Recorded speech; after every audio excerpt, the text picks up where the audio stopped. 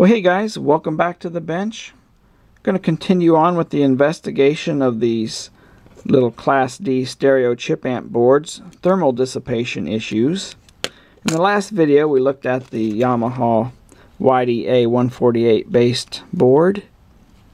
But in this video, I'm going to look at this TPA 3110 board. And going to see how adding heat sinks help to cool it off. The main reason for using this board over this one is because there's really no room to put a larger heatsink on it. I guess I could put the heatsink on the bottom, but you know it does present mounting issues. Normally you want to mount the board inside a case or something, so it'll be better to put it on top. Now here's a diagram. This is the chip side view. Has the little pins that come out and are soldered to the PC board. And there's these through holes which bring heat down to the copper foil area on the board. And you can see here this array of holes once the camera focuses. There's a whole bunch of these little plated through holes some underneath the chip. And that brings heat to this copper foil area on the back of the board. That helps get rid of some of the heat, but when the amp is really pushing out a lot of watts, it's going to dissipate quite a bit of heat. And, you know, copper is a good conductor, but the thin foil can only do so much.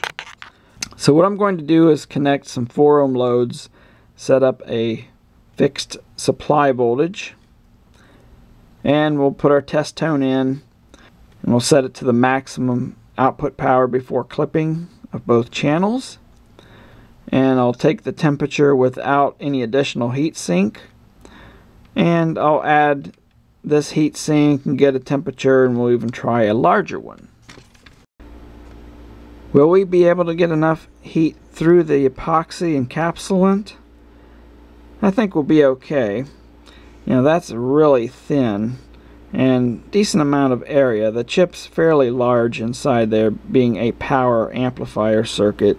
And they do use fully encapsulated epoxy casing on some isolated type packages that dissipate quite a bit of heat. So I think we're okay there. To mount the heat sinks, I'm going to use this 3M thermal transfer tape number 8810 this roll is fairly expensive. It's like $30. It's meant for this purpose, including mounting LEDs to heat sinks.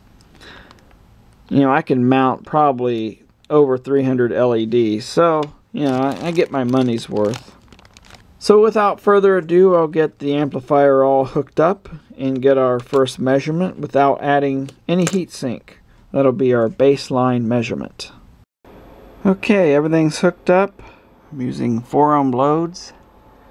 Playing around, I, I figure 10 volts would be good. It was getting really hot when I went higher with 4 ohm loads. I didn't want to overstress it. And I took my meter here with the thermal probe and get that in the shot here. Put a little heatsink grease and just put the probe on the back and I press the hold function here 214 degrees Fahrenheit. And I'll list the Celsius temperatures at the end of the video. So now I'll attach the heatsink and see how that affects the temperature. Okay well with this little heatsink on there did a little better 209 I thought it would do a lot better than that but that is a very small heat sink. For every watt of dissipation, there's going to be a fairly large delta T with this heat sink. It's going to heat up quite a bit.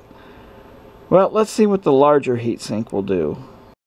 Okay, with the larger heat sink installed, did a little better, 199. But still, that's, I thought I'd do better than that. But you have to keep in mind that, you know, this is a still a thumb-sized heat sink. Not much bigger than a thumb. And it is really meant for having airflow over it. So I have this little cheapo little uh, dollar store fan. Runs on two AA batteries. It circulates as about as much air as a little computer fan. So I'm going to set it off to the side and see how that helps. I think it'll help a lot with the fine pitched fins they use on the heatsink. So let's see how that works. Well that made quite a difference. Brought it down to 180. So I have the little fan sitting at this distance and I had the board turned up like this so I can probe the bottom and having the air blow across that heatsink really helped cool it off. Overall, I'm going to say this amplifier is really not meant for 4 ohm loads. Even with the heat sinking on it, it runs pretty darn hot.